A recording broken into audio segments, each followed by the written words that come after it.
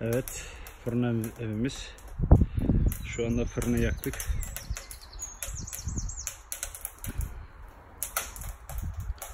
Fırın evimizin genişliği 5 metreye 4 metre.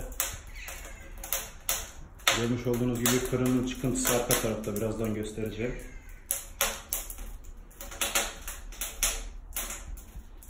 Daha birkaç eksiği var. Onlar da tam olunca inşallah artık.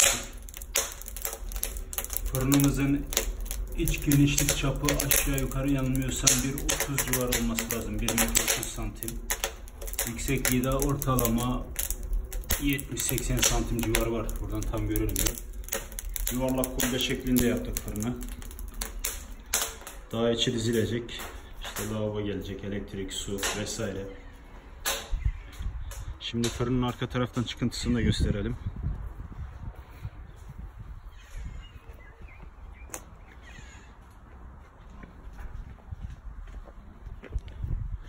Evet, burası da fırının çıkıntısı. İki tane baca kullandık biz. Normalde tek baca oluyor. Onda neden iki tane baca kullandığımı size anlatırım şimdi birazdan.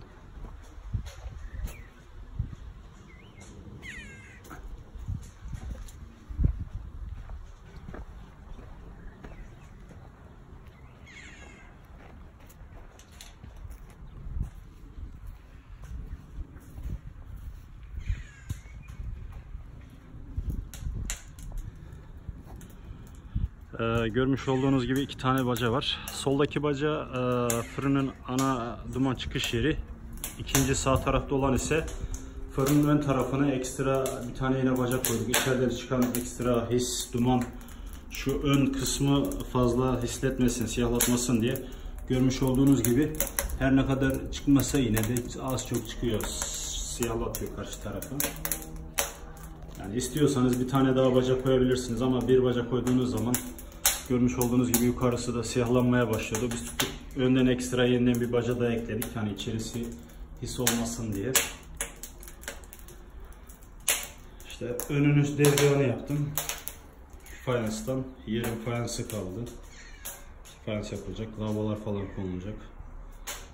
Görmüş olduğunuz gibi bu kadar.